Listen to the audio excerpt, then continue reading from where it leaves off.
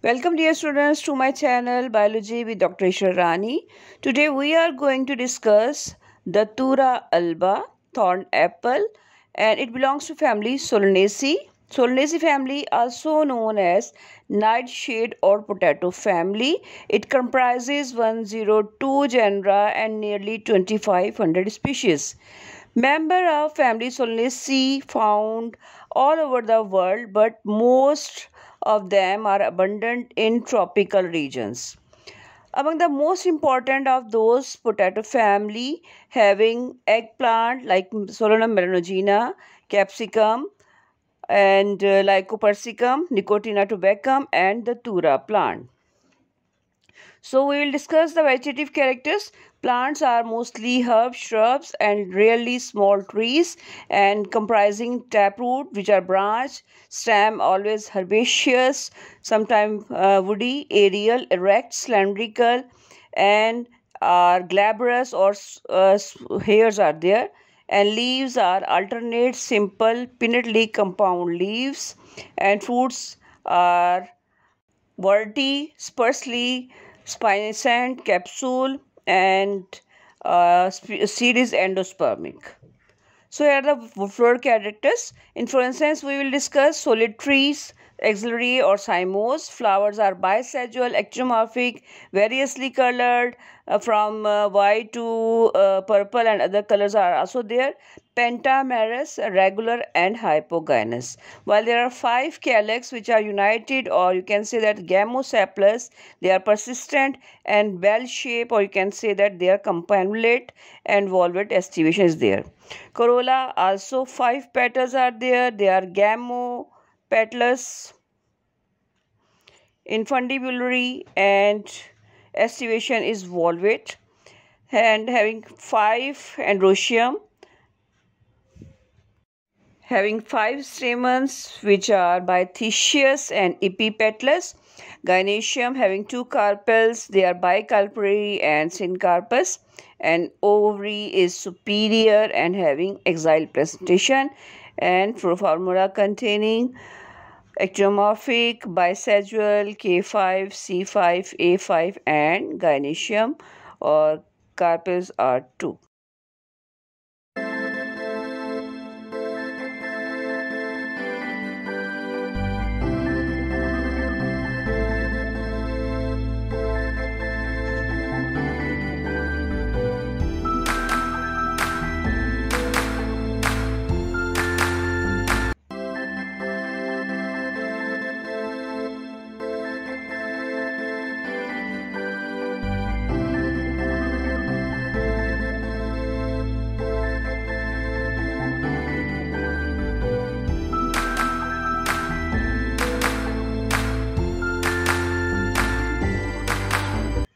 So today we have thorn apple.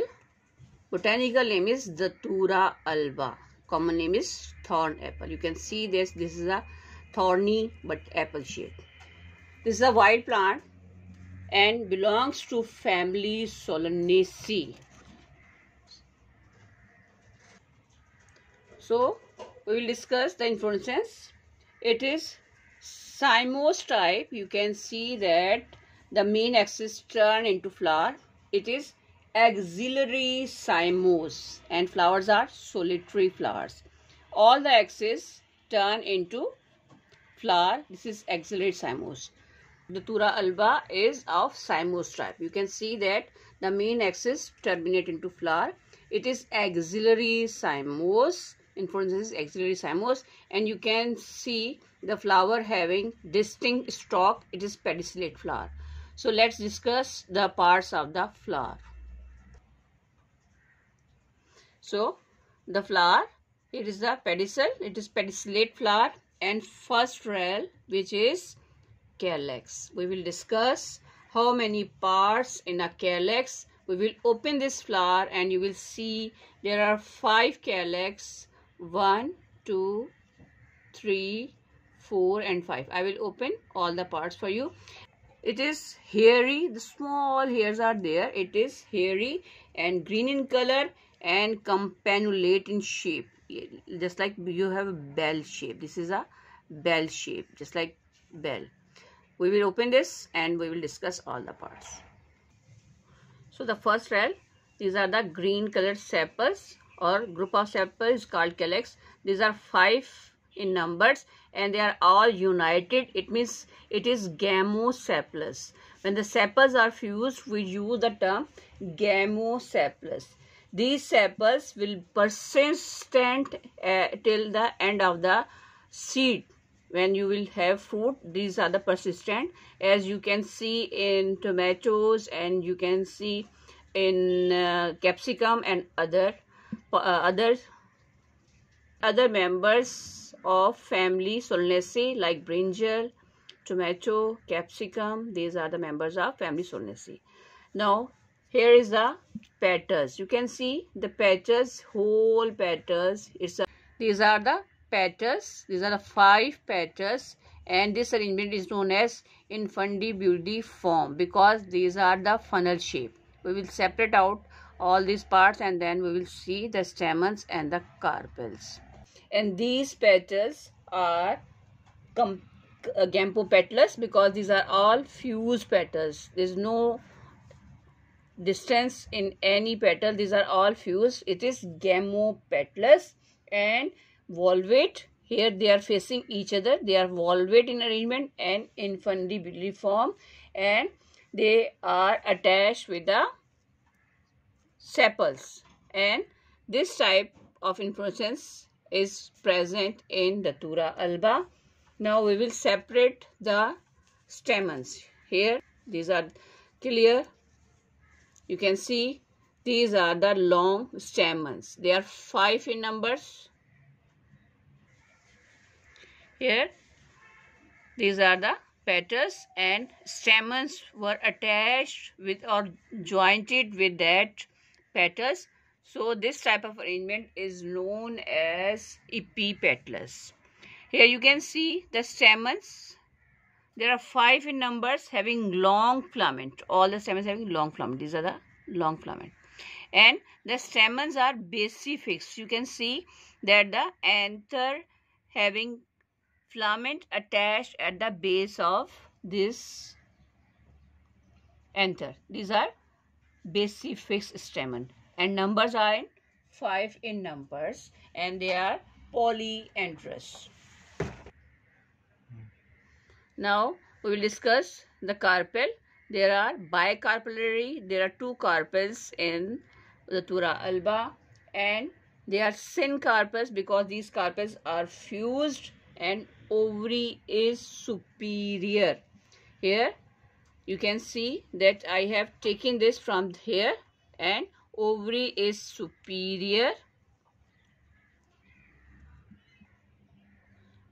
Ovary is superior. When we cut this ovary, it will have four chambers or false septa. It is tetralocular ovary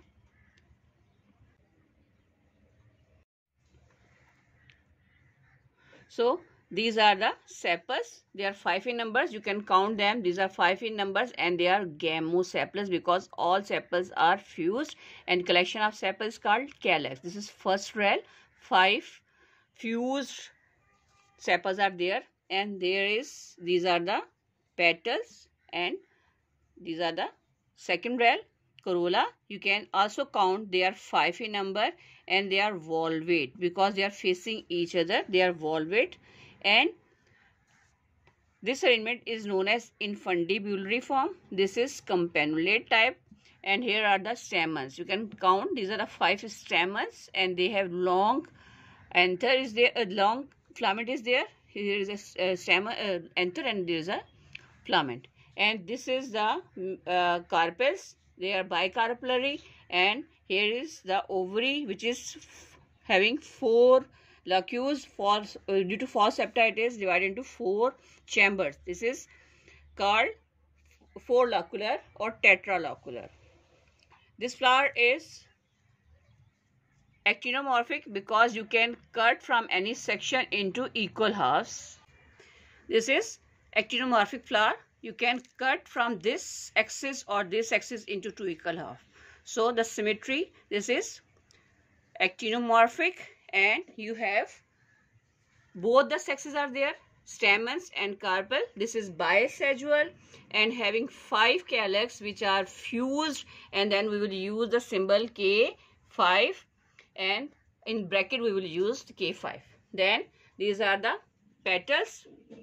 Five petals are there but the these petals were attached. Here you can see that here these are the attachment of petals with the stamens and this is epipetalous. Here are five stamens. Inside you can see these are the five stamens. Then we have gynoecium or ovary. This is uh, bicarpellary. Two carpels are there and ovary is superior. You can see that we will open this and here these are the first rail which is calyx and corolla and inside there will be the ovary. So we will we have opened this ovary and we uh, already saw that this is the superior ovary. So it is Datura alba thorn apple family solanaceae belongs to family solanaceae and here is the floral formula of Datura alba.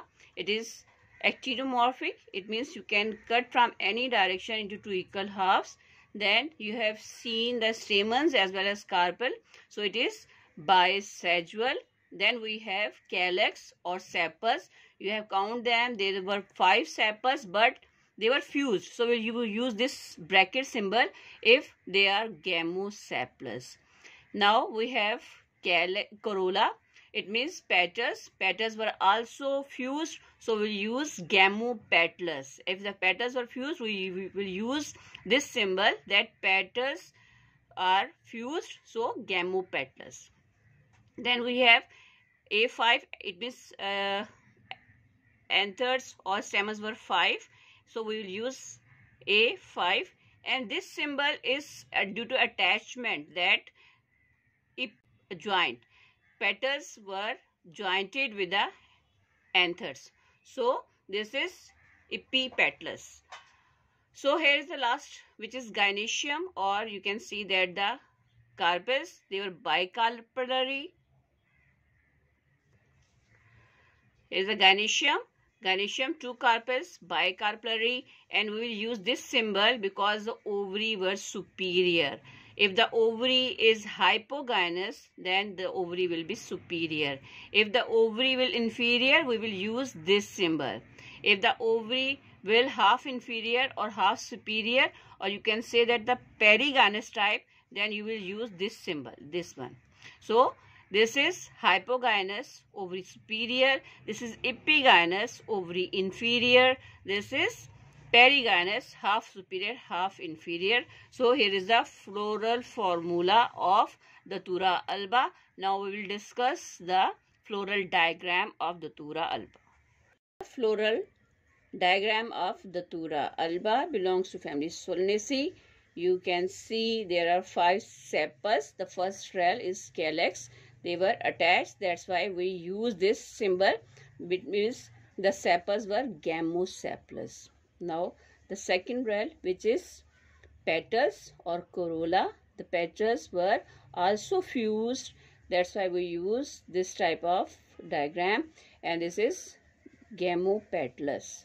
Then you have seen that from petals the stamens were attached. Then that's why you will use this type of symbols that stamens were attached to the petals. So here are five petals were there and then we have the innermost part which is carpus. We have two carpus bicarpellary and due to this false septa carpus were divided into tetralocular or four in numbers. So this type of arrangement if the petals sepals and stamens were five in number it is also known as pentamerous arrangement Five sepals, five petals, five stamens are there. So this is the floral diagram of Datura alba. So here are the different parts for your description that you can see the different parts including calyx, corolla, androecium, gynoecium, floral formula and flower diagram. So the last one we have significance of Datura alba. As you know that it is also known as thorn apple. It is deadly toxic uh, plant and it is used in traditionally in uh, both type of medicines Often it is used to relieve asthma symptoms and reduce pain during surgery and bone fractures. It is used for treating hair and other skin uh, diseases. Thank you so much. For more videos, like, share and subscribe my channel.